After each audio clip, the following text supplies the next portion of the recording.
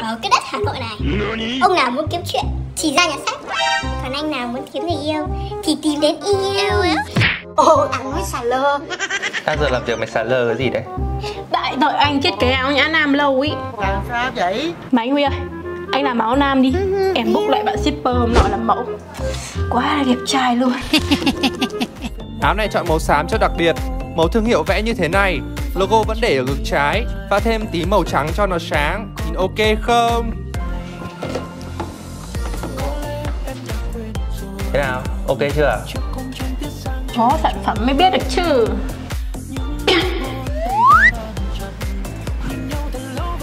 Đây, mang cho xe đen mặc đi